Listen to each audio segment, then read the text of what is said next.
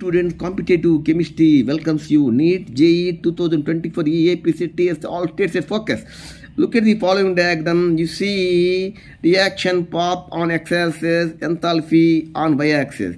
You see A, this is activated complex, intermediate, this is B. This is A reactant, this is B products, okay. The enthalpy change for the reaction A to B in kilojoules are minus 25, minus 40, plus 25, minus 65. You see, you want to know the enthalpy change, no doubt the difference between enthalpy of the products minus enthalpy of the reactant. You see, this is B.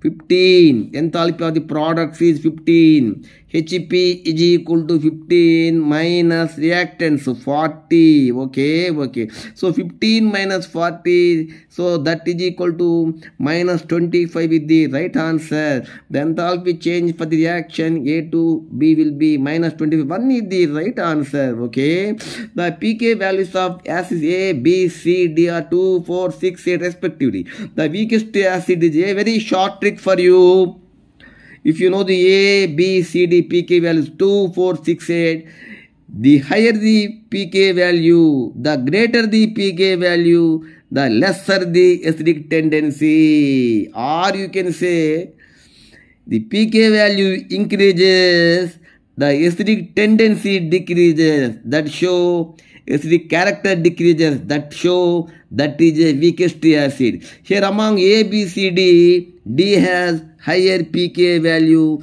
So that indicates it show less acidic character. It show weakest acid. So D is the right answer. Like, share, subscribe for more and more videos. Thank you.